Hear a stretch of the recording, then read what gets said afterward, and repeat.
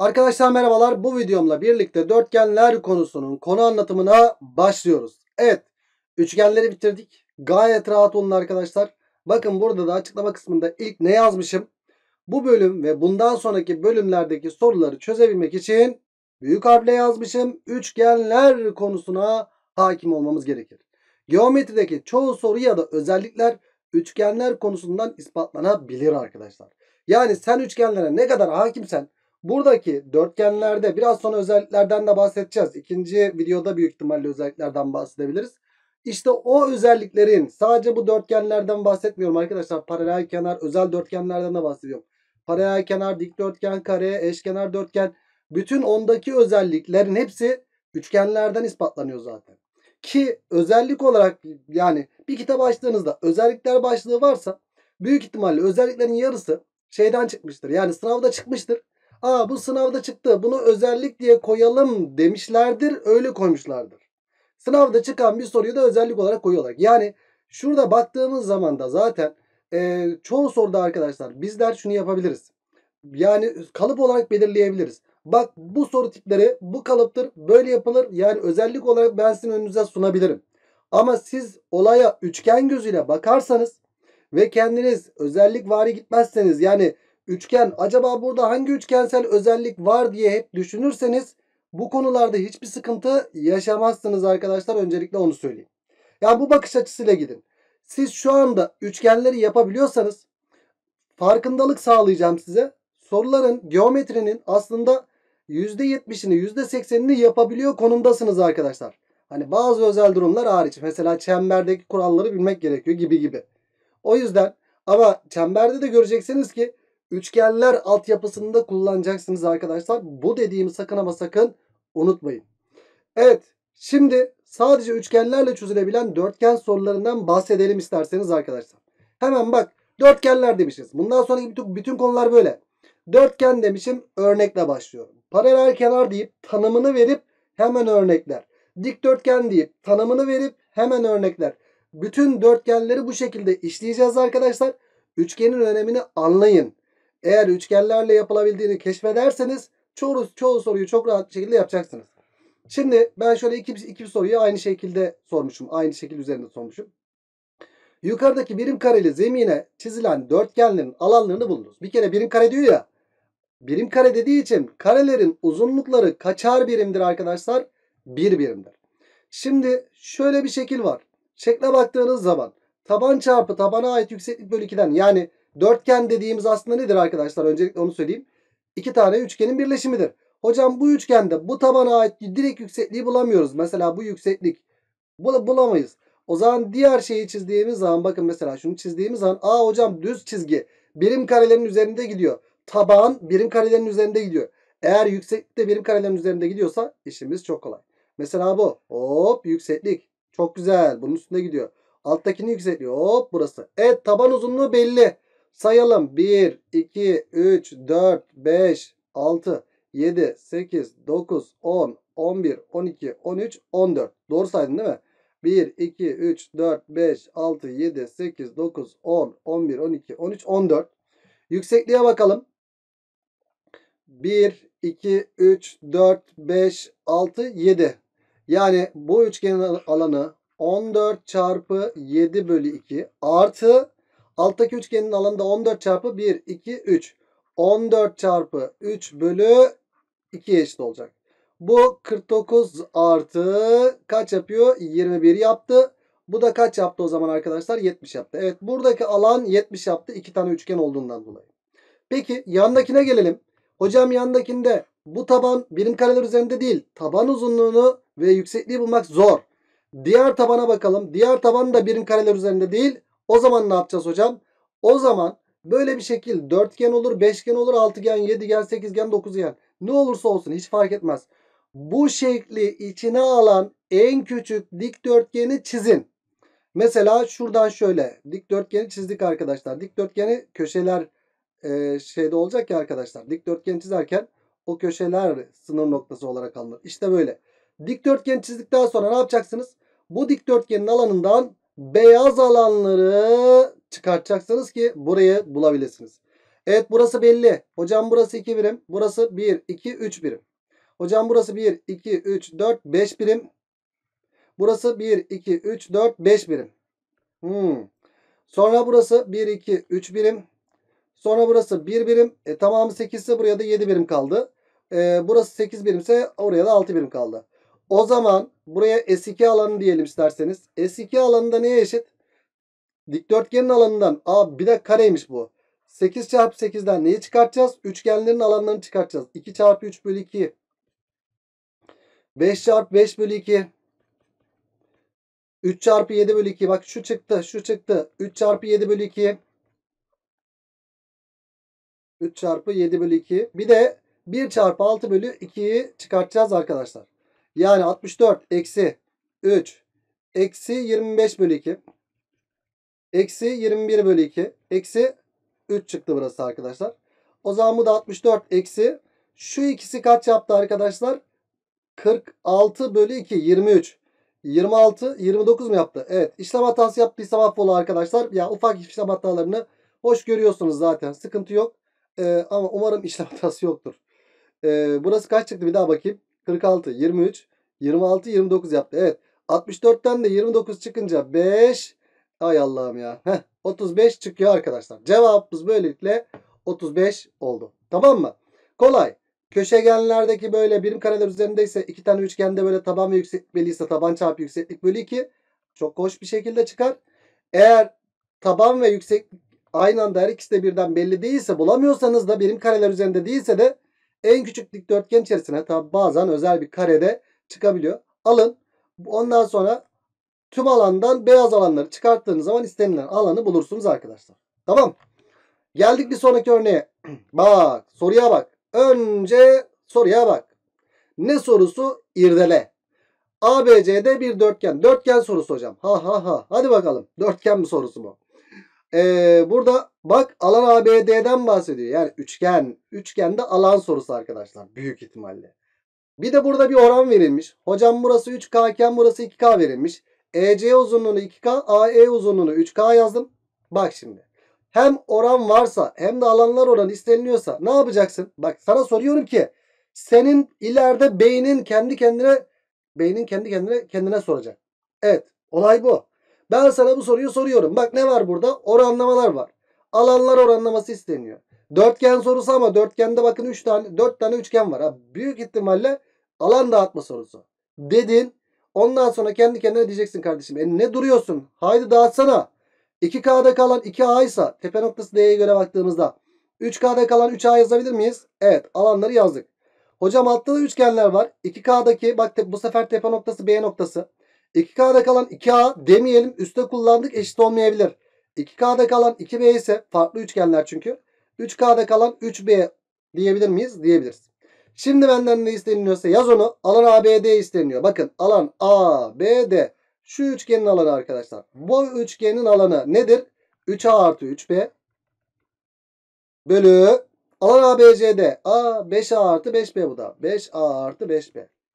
Evet cevap kaç arkadaşlar? 3 parantezini aldığımız zaman A artı B bölü 5 parantezini aldığımız zaman da A artı B. A artı B'ler nanay. Şınanay yavrum. Şınanay diyeceksin. Sonra da göbek atacaksın. Değil mi soruyu yaptığın için? Evet üçgenden yaptık gördüğünüz üzere. Dörtgen diye başlıyor ama nereden yapıyoruz? Üçgenden. Tamam. Ya bunu bu şekilde kavrarsan var ya önünde kimse duramaz. Kesin net. Yani şu an özellikle bu dersten sonra geometride böyle var ya yani tamam çemberi memberi hiç bilmediğinizi farz edelim. 5-6 garanti cepte diyebiliyorum arkadaşlar. Yani sınavlara girdiğiniz zaman göreceksiniz. Bakın ABC'de bir dörtgen demiş. Kesimleri yani bunlar köşegen diye verilmiş. Uzunluklar verilmiş. Ve sen şimdi dörtgen Allah Allah dörtgen ya burada hangi özellik var diye böyle özelliğe yoğunlaşırsan yapamazsın onu söyleyeyim. Özelliksiz bir şekilde. Üçgen var burada. Yoğunlaşacağın yerde belli aslında. Hocam buraya bakınca bak görme demiyorum. Yoğunlaşacağın yer. Beynin bir yere odaklanır zaten. Aa hocam şurada ne var? 5, 5, 6 ikizkenar üçgen var. Taban da, taban da mevcut burada. İnsan olan ne yapar? Tabana ait yükseklik çizer. Değil mi? İnsan olan. Arkadaşlar çoğunuz yanlış anlamıyor beni ama niyetimden dolayı e, temiz niyetli biri olduğumu farkındasınız. Ama bazı arkadaşlar da hocam ayıp oluyor ama demiş. Vallahi kötü niyetle demiyorum. Aklınızda kalsın diye böyle insan olan, insansan şöyle böyle. E, tabii ki insansınız biliyoruz onu da. İnsan olan dik çizer kardeşim. Kötü niyetli değil ha. Çizdin diki. Hocam 3-3 oldu. Burası da 4 oldu. Aa süper. Senden ne isteniyor? Alan. O zaman alana yoğunlaşacaksın. Aa, hocam sen buradaki e, üçgende tabana ait yükseklik buldun. Bu üçgenin alanını bulabilirsin. 6 çarpı 4 bölü 2. O üçgenin alanı 6 çarpı 4 bölü 2 24 bölü 2'den 12 çıktı. Evet burası 12. Şimdi sen buradaki alanı buldun. Sonrasında ne yapacaksın? Diğerlerde hiç tabana ait yükseklik falan filan yok ki. Ha bir de bazen şunu yapıyorsunuz. Keşke sonunun başında deseydim. Ya hocam burası 90 dereceye benziyor. 90 derecedir. Üçgenlerin al- alanlarını ayrı ayrı buluyorsunuz. Arkadaşlar bir tarafımızda bir şey uydurmuyoruz. Tamam? Ya bir tarafımız derken beynimizden öyle kafamızdan bir şey uydurmuyoruz arkadaşlar. Bunu da sakın ama sakın unutmayın. En çok geometride düştüğümüz handikap bu zaten. Ya o şurası buna benziyor ya. Böyle bir 90'a benziyor. 90 gibi düşüneyim. Yok ya. İşte yaptığınız hep yanlışlar buradan geliyor arkadaşlar. Şuradan bir şey uydurmuyoruz. Sakın unutma bunu. Tamam mı? Evet burası 12. Tamam. E şimdi ne yapacağız hocam? Ben burada kalanı buldum. Aa burada bak oranlama var aslında. Alan da açacağız o zaman. 5'teki alan 12 ise hocam 5'in bir katı değil ki olsun. Bak 5'e 15. Yani 1'e 3 oran var. O zaman alanlarda da 1'e 3 oran olacak. Direkt 36'tır burası. Hocam burada bak tepe noktası D'ye göre dağıttık. Şimdi tepe noktası C'ye göre bak. 5'e 10. 1'e 2 oran var. 36 ise direkt burası nedir? 72'dir. Hatta burada da tepe noktası A'ya göre baktığımız zaman da arkadaşlar hocam 5'e 10, 1'e 2 yani 24 diyebilirsiniz. Ya da hocam 15'e 5 yani 3'e 1 oran var ya 3'e 1 alanda da 3'e 1 oran olacak diyebilirsiniz. O zaman dörtgenin alanı ne yapacaktır arkadaşlar? ABCD dörtgenin alanı 12, 36, 24 ve 72'nin toplamı yapacaktır. evet toplayalım bakalım. Şu ikisinin toplamı kaç yaptı? Ee, 60 72 o zaman topladığımız zaman da 144 yaptı arkadaşlar. Evet bu sorumuzun cevabı da 144 oldu. Geldik buraya. Hocam 90'ı gördüm. Hemen ben böyle Pisagor'u da biliyoruz ya. Hop çizdim Pisagor'u. Aha. Ne yapacağım ben burada? Hocam 60'ı gördüm mü dik çizsem. Yapma ya. Hiçbir işimize yaradı mı yaptığımız hamleler? Birinci yanlışın nerede senin? Şurada.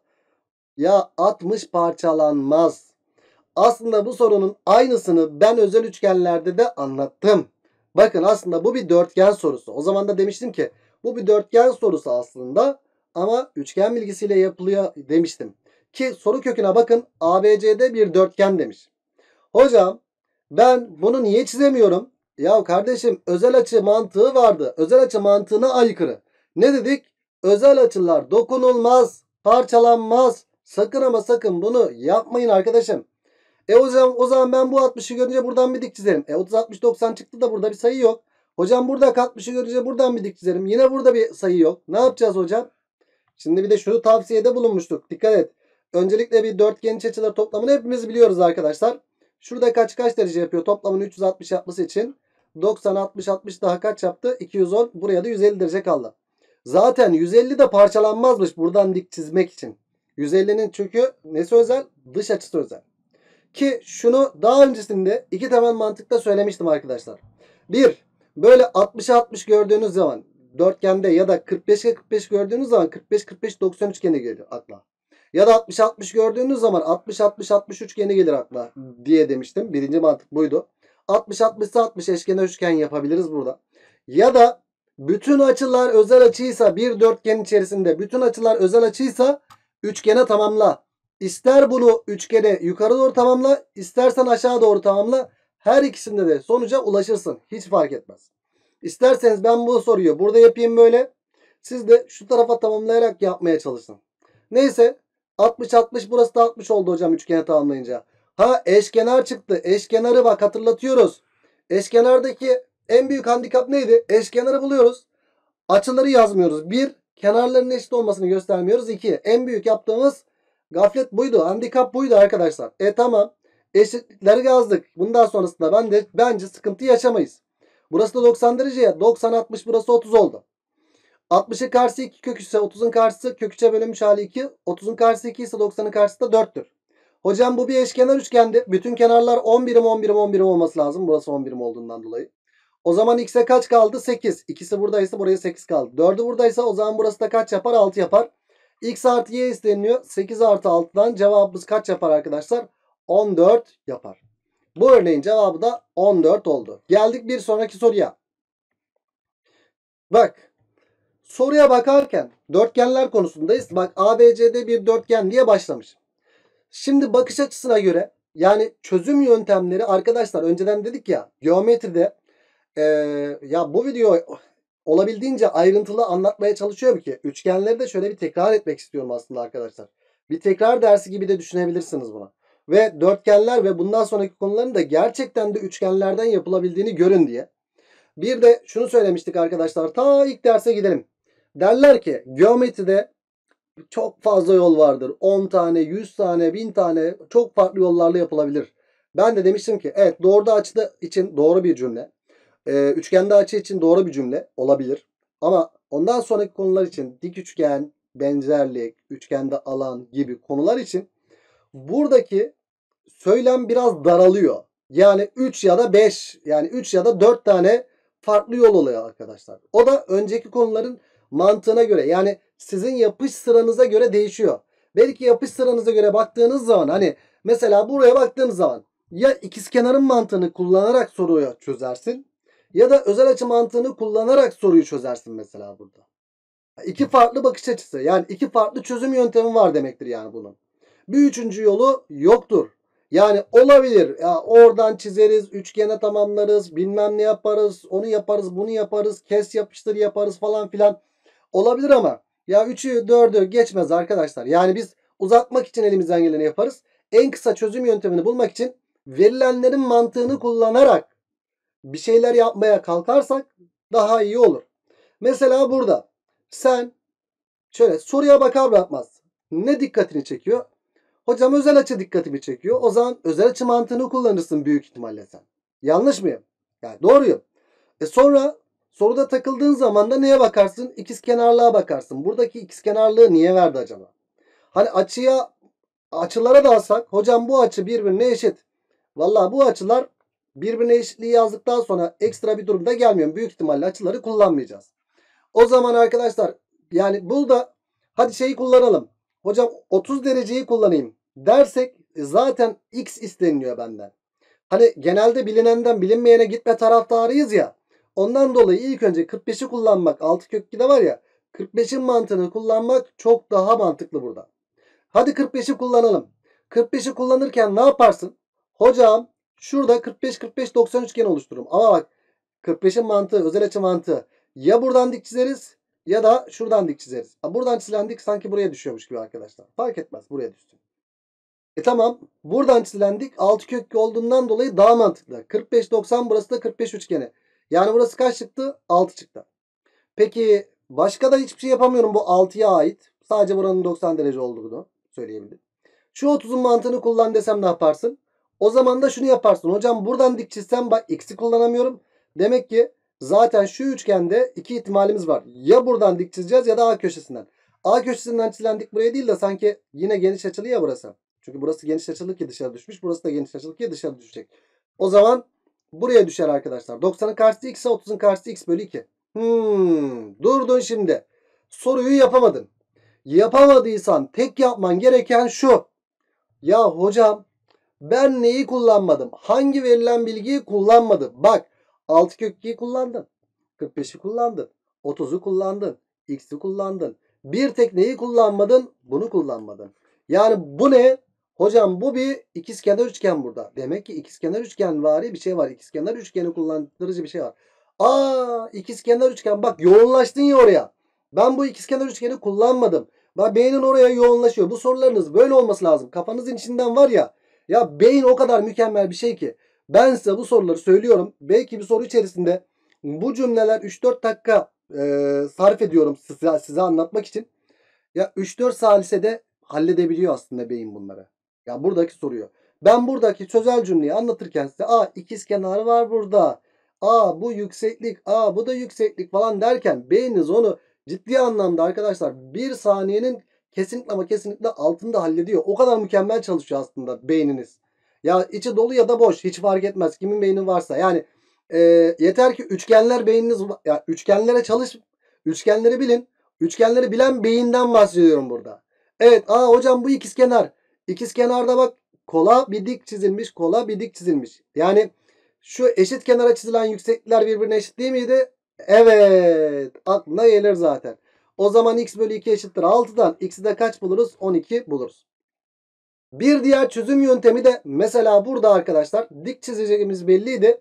Ters mantıktan başlayabilirdiniz. Hocam ben ikizkenarın özelliğini kullanmak istiyorum. Ha, dik çizeceğim belli. Buradan dik çizerim. Buradan dik çizerim. İkizkenar üçgende yükseklerin eşitliğinden bahsedip de oradan başlayabilirsiniz. Çözüm yöntemi aynı olacaktı. Sadece tersten başlamış olacaktınız. Yani sen ikizkenar mantığını kullanıp da yine soruyu çözebilirdin. Bu bir yöntem. Özel açı mantığını kullanıp da yine soruyu çözebilirsin. Yine bu bir yöntem.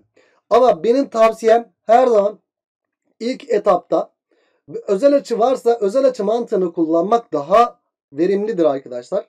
Daha e, soruyu hoş bir şekilde akışını sağlar. O yüzden bunu yaparsanız sizin açınızdan daha sağlıklı olur diye düşünüyorum arkadaşlar. Evet sorumuzun cevabı 12 çıktı. Geldik bir sonraki soruya. ABC'de bir dörtgen. Dörtgen ama bak şöyle iki tane dik üçgenden oluşmuş. Ya da e, dörtgen ama 1, 2, 3, 4 tane üçgenden oluşmuş diyebiliriz arkadaşlar. Şimdi bakış açısına göre şeyler ol, belirleyecek. Verilen bilgiler bizi soruda yönlendirecek. Bak şimdi. ABC'de bir dörtgen demiş. 90'ar derece demiş. O zaman buradaki dik üçgenleri yoğunlaşacağım arkadaşlar büyük ihtimalle. AE ile EC birbirine eşit verilmiş. Hocam AE uzunluğuyla AE uzunluğuyla EC uzunluğu eşit. Aa hocam bak burada baktığım zaman hocam 90'ın karşısında eşitlik var. Ne geldi aklına? Evet söyle. Ne geldi? Aferin. Aklına gelen başına gelsin o zaman. Ne geldi? Muhteşem üçlü geldi. Değil mi? Aklına gelen başına geldi. Hocam bak burada da 90 var. Burada da 90'ın karşısında eşitlik var. Ne geldi yine aklına? Muhteşem üçlü. Hemen çizdim bunu. Değil mi? Aa hocam ikizkenar üçgen çıktı. Şimdi verilen bilgilere bakıyorum. 4, 2, 6, 3 verilmiş. Aa hocam şuraya baktığım zaman ikizkenar üçgende burası da 6, burası da 6. İkizkenarda çizilen kenar ortay oldu. Aynı zamanda yüksekliktir. Değil mi? İkizkenarda çizilen kenar ortay yüksekliktir ve açı ortaydır. Ama yüksekliği bulmam yeterli oldu. Burada dik üçgen çıktı. 3, 6 ise 1, 2 kök 5 üçgeninden burası 3 kök 5 oldu. Burası da 3 kök 5 oldu. Burası da 3 kök 5 oldu. Burası da 3 kök 5 oldu. Çünkü S uzunluğunu 3 kök 5 bulduk. AC uzunluğu isteniyor bizden. A 2 tane S'ye eşit. O da e, 3 kök 5 artı 3 kök 5'e eşittir sevgili gençler. Zor bir soru mu? Hayır. Üçgen bilgisiyle soruya bakarsan zor soru yoktur kardeşim. Bunu unutma. Ki ben size şunu söyleyeyim yeri gelmişken. Dörtgenler deyip özelliklerini ezberleyip teste baktığınız zaman soruların %20'sini yaparsınız. Dörtgenler deyip ulan bunlar üçgenden çıkar deyip teste başlarsanız hiçbir özellik bilmezseniz %80'ini yaparsınız. Hangisini tercih edersin? %80'ini değil mi? Ha sen işi garantiye alacaksın. Dörtgenler deyip hem üçgen bilgisiyle yapacaksın ki ben de ilk etapta onu yapıyorum. İlk önce %80'lik kısmını hallediyoruz. Bir de ondan sonra bak bunların böyle de özellikleri var deyip o eksik kalan %20'yi de e, hallediyoruz. Yeni sınav sisteminde özellik ne kadar çıkabilir? Çıkar. Bu tartışılabilir. Ya o yüzden sanki benim izlediğim yol tam ÖSYM'nin gittiği yol. ÖSYM de aynen bu şekilde gidiyor ama arada yine bir özellik çarptırabilir arkadaşlar. O yüzden özellikleri de bilmek zorundayız. Geldik şuraya. ABC'de bir dörtgen. AK ile KC birbirine eşit verilmiş. Hmm, çok karışık bir soru hocam. Şu parçayla şu parça. Of parçaya bak ne kadar karışık değil mi? Bunlar birbirine eşit. DL ile LB birbirine eşit. Allah Allah. DL ile LB de birbirine eşit. Ne yapacağız hocam burada? Durdum. Ne yaparsın arkadaşım? Soruya bak. Kendine bir soru var. Soru sor. Kendine bir soru sor. Sor ilk önce. Ben soruyorum sana. Sormuşsundur büyük ihtimalle. Ya verilen bilgileri hep kullanacaksın diyorum ya. Sen bu eşitlikleri nasıl kullanacaksın diye sordun ya. İşte bu soruyu sormazsan bön bön bakarsın. Başka bir şey diyecektim ama bön bön bakarsın. Ama sen o soruyu kendine sorarsan ben bu eşitliği nasıl kullanırım dersen aa dersin. Ondan sonra eşitlik varsa ne vardır? orta taban vardır dersin. Değil mi arkadaşım? Bak çoğunuzun aklına geldi. Şimdi o soruyu sorduğun zaman çoğunuzun aklına geldi. Neyi sordum ben? Ya ben bu eşitliği nasıl kullanmalıyım dedim. Çoğunuzun aklına geldi. Ne? Orta taban hocam dediniz. İşte önemli olan da zaten bu. Soruyu çözerken o soruyu, o mükemmel soruyu, o verilen bilgileri kullanabilme yeteneğinle soruyu çözebilmek olayı bitiriyor zaten. O zaman ne yapalım arkadaşlar burada? Şu eşitliğin mantığını kullanayım. Bak şimdi bak şuradaki eşitliğin mantığını kullanacağım. Buradaki eşitliğin mantığını nasıl kullanıyoruz? Hocam ben burada orta taban çizmeliyim. Hmm, Hangisini kullanarak? 8'i ya da 6'yı kullanarak. 6'yı kullanarak şöyle çizersem 8'den uzaklaşıyorum ve şekil çok dengesiz oluyor şununla. Değil mi? E o zaman ne yapayım? 8'i kullanarak hocam buradan buraya bir orta taban çizebilirim. Bak 8'e paralel çizebiliriz. Hocam şuradan şuraya çizebilir miydik? Yine şekil çok dengesiz oluyor gibi oldu arkadaşlar. 4'e 4'ü kullanamayacağız gibi. Sanki 8'den buraya 4 daha mantıklı. İsterseniz diğerlerini de siz deneyip olup olmadığını da görebilirsiniz arkadaşlar. Burası 4 oldu. Peki hocam şimdi L'deki eşitliği kullanacağım. Yani şu eşitliği kullanacağım. Bu eşitliği kullanırken bak 8'i kullandık ya artık işimiz daha da kolaylaştı. Hocam ben 6'yı kullanmam lazım burada. Hadi 6'yı kullanalım. O zaman 6'ya ait paralel çizeceğiz. Bu arada ben burada orta taban çizdim. Evet. Şu parçalar birbirine eşitliği niye göstermiyoruz? Orta tabandan 8 ise bak şunlar birbirine paraleldir. 8 ise burası nedir? 4'tür. Bunlar da birbirine eşittir. Geldik buraya. L'nin eşitliğini kullanacağım. Hocam orta taban. Hop 6'ya bakarak orta taban. Şu paralel çizdim. Tam olarak buraya denk gelmek zorunda. Sebep bu orta taban çizgisi eşit diye iki eşit parçaya ayıracağı için arkadaşlar. Şununla da şu birbirine paralel oldu. 6 ise burası kaç oldu? 3. Aa bizden x isteniyor. X'e ait bir üçgen oluştu mu? Oluştu. KL uzunluğunun alabileceği tam sayı değerler soruluyor. Bu sorunun farklı farklı çeşitleri gelebilir karşımıza. Mesela tam sayı değeri değil de buradaki aradaki açıyı 90 verir. Hocam bu 90 sa o zaman şununla şu paralel ya. Yok. Ya bir yerdeki açıyı böyle 90 derece verir. Buradaki açıyı da 90 derece bulmanı falan sağlar böyle. Bu aradaki açı değil de farklı yerdeki açı. O zaman 3, 4, 5 gelirdi mesela. Ama burada ne sorusu bu? X'in alabileceği, KL uzunluğunun alabileceği tam sayı değerlerinin toplamı isteniliyor bizden. Yani üçgen eşitliği yapacaksın kardeşim burada. Toplamlarıyla e, üçgen eşitliği biliyorsunuz da değil mi? Yani bu soru kökü neydi? Üçgen eşitliği sorusu. 4 eksi 3 ile 4 artı 3 arasında 1 küçüktür x küçüktür 7. Yani 2 artı 3 artı 4 artı 5 artı 6. Ee, kaç yaptı arkadaşlar topladığımızdan ortadaki çarpı sayı adedi 20 mi yaptı arkadaşlar? 5 evet 10 20 yaptı. Ya da kısaca ortadaki çarpı sayı adedi de veriyordu arkadaşlar. Biliyorsunuz zaten bunu. Neyse sorumuzun cevabını bulduk. E soru çok karışık gözüküyor ama verilen bilgiyi kullanabildiğin sürece don't sıkıntı. Geldik bir sonraki soruya. Bak bu sefer 90 derece vermiş. Köşegenler dik kesilen bir dörtgen. AC uzunluğunu vermiş 12. BD uzunluğunu vermiş 16. Bazı arkadaşlar kafadan sallar. KL uzunluğu nedir? Hocam 12, 16, 20 eşitlikler de var. Yani 2'ye böleceğiz o zaman. Cevap 10'dur. Doğru. Bazıları sallıyor ama sallamayın kardeşim. Yani sallamayın. Ee, sallamaya alışkın olursanız sınavda da sallarsanız sonra çok pişman olursunuz. Boş bırakın daha iyi. Neyse. AC'yi bana kaç vermiş? 12. Öncelikle AC'ye yoğunlaşayım. Sonra BD'ye yoğunlaşacağım belli. Hocam eşitlikler var. Ben bu eşitlikleri nasıl kullanabilirim? Mesela şuradaki eşitliği. Ya eşitlikleri nasıl kullanabilirim? Sorusunu sorduğun zaman zaten soruyu bitirdin sen. Nasıl kullanabilirsin? Hocam orta taban çizeceğim. İki ihtimalim var. Ya böyle ya böyle. E 12'ye bakarak böyle çizeceğimiz belli. Hadi böyle de çizebilirsiniz arkadaşlar. Ben şurayı yazmış olsaydım 16'yı 16'ya ait paralel çizeyim hocam derdiniz. Böyle bu şekilde de çözüm yapılabilir tabii ki. Ama buradan buraya 12'ye düşünürüz şimdi. 12'ye ait şuradan bir paralel çizebiliriz. E şunlar birbirine paralel. 12 ise burası kaç yaptı arkadaşlar? 6 yaptı. Peki şunlar da birbirine eşit oldu bu arada. Şu eşitleri de yazalım isterseniz. Şöyle ve şöyle. Sonra hocam şu eşitliği nasıl kullanacağım? Buraya koydunuz. Dur koymadan önce. Şu uzunluğu kaç vermiş bize? Bu uzunluğu 16 vermiş arkadaşlar. 16. E o zaman kaleme eşitliğin olduğu yere koydunuz. Hocam orta taban çizeceğim. 16'ya bakarak.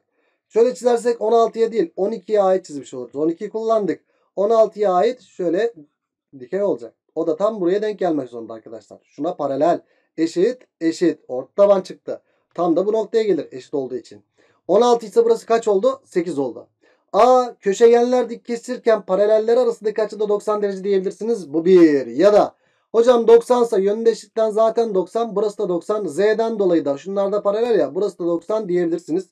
Artık burada ne çıktı? Şu uzunluk isteniyor. Pisagor bağıntısı çıktı. 6, 8, 10 üçgeninden. Buradaki uzunluk kaç çıkar KL uzunluğu?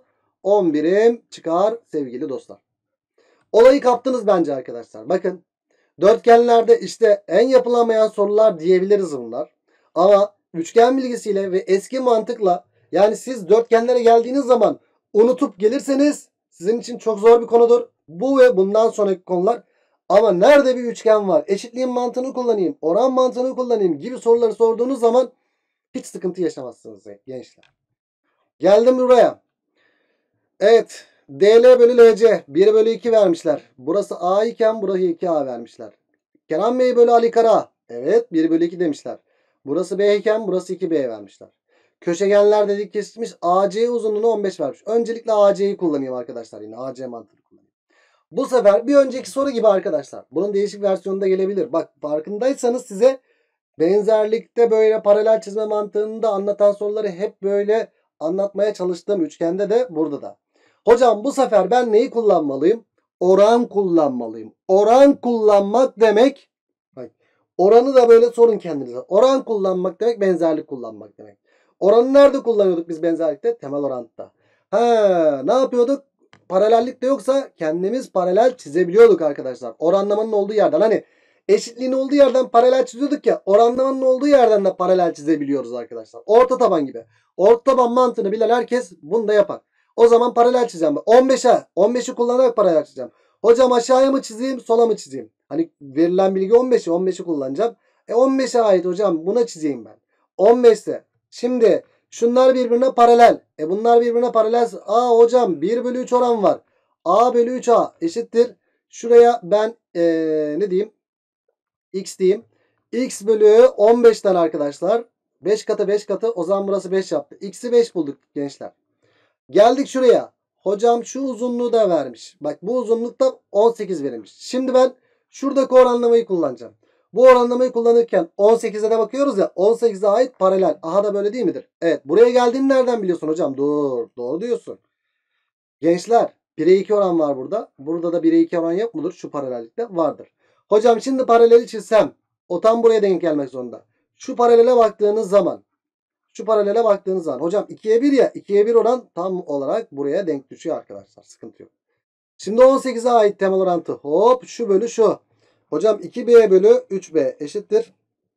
Şuraya da y dersem y bölü 18'den dolayı 6 katı 6 katı o zaman burası 12 oldu. y'yi de 12 bulduk. Köşegenler dikse buradaki açıda kaç derecedir arkadaşlar? 90 derecedir. Ya da 90 ise 90 e zaten burası da 90 z'den dolayı da 90 diyebiliriz. Köşegenler dikse her iki köşegenin paralelleri arasındaki açı nedir? Diktir de diyebilirsiniz arkadaşlar.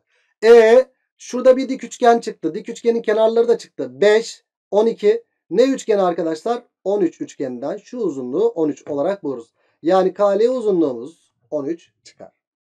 Arkadaşlar çok ayrıntılı bir şekilde anlattım. Bence ilk ders gerçekten ama gerçekten çok önemli olduğu için burada bayağı bir detaya girmek istedim. Ya umarım sıkmamışımdır. Benim ağzımdan çıkan her cümle bu derste altın değerindeydi. Ciddi anlamda çok ayrıntılı anlattım ki bence ilk dersler her zaman çok önemlidir. Dörtgenlerin ilk başlangıç dersi bu kadar detaylı olmalıydı bence. Hatta geçen sene bu kadar detaylı anlatmamıştım mesela. Bu sene yani normalde derslerde anlatıyoruz da hızlı geçmiştim galiba da bu şekilde olması sizin açınızdan da gayet iyi oldu arkadaşlar. İlk ders gerçekten ama gerçekten çok önemli. Bak üçgenlerle arasındaki ilişkiyi kurabilmenizi sağladım. Üçgenlerle dörtgenler arasındaki ilişki, bağıntı bu arkadaşlar. Evet şimdi dörtgenlerin özelliklerine geçeceğiz arkadaşlar. Ve e, onu da bir sonraki ders geçeceğiz. Orada da e, özelliklerini yapabilirsiniz. Özellik olmadan da yapabilirsiniz diye konuşmalarımız da olacak zaten. E, o zaman ne diyoruz? Bir sonraki videoda dörtgenin özellikleri videosunda görüşmek dileğiyle. Kendinize iyi bakın. Hoşçakalın.